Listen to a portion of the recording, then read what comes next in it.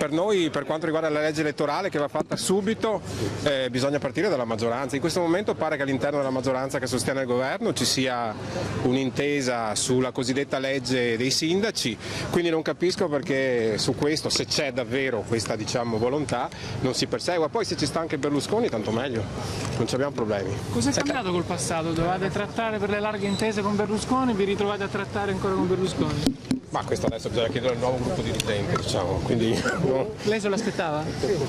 No, io mi aspetto che ci sia un lavoro comune da parte di tutto il partito per migliorare il lavoro del governo Letta, che non ci sia diciamo, uno stilicidio quotidiano, ma ci sia sostanzialmente una volontà di stimoli, stimoli positivi. Credo che da questo punto di vista vada fatto un chiarimento molto netto. Non esiste che ci sia la minoranza del partito che sostanzialmente sostiene il governo e la maggioranza invece abbia un atteggiamento francamente che si capisce poco, quindi credo che la giornata di oggi sarà molto importante.